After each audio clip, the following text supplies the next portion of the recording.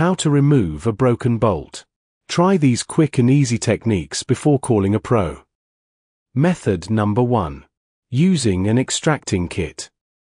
Using a hammer, mark the center of the broken bolt with a center punch.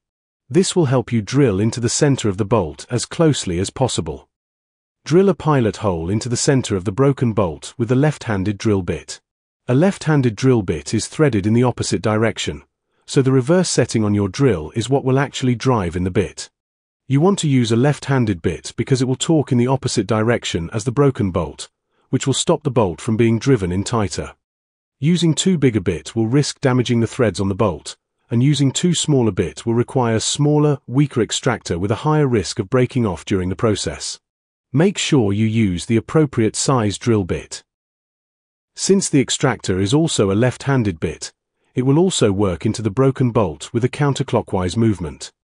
As you continue to tighten in the extractor, the tapered end will catch, and the torque will work to loosen the bolt once the extracting bit is snug. Continue turning the extracting tool counterclockwise until the broken bolt has been completely removed from the surface in which it was embedded. If you plan to replace the broken bolt with a new one, it is important to first remove all of these fillings and shaving.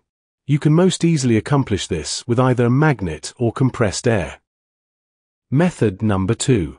Using a welding technique. Center punch the broken bolt as close to the center as possible. Drill out the center of the bolt.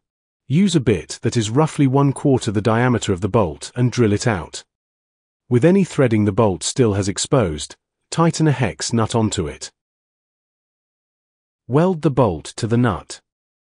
After the weld has had time to cool, the hex nut has essentially been welded into place as the new head of the bolt and can probably be removed with a socket or a wrench. Once it starts to loosen, continue working both directions but more so counterclockwise, so you can begin removing it entirely. Thanks for watching.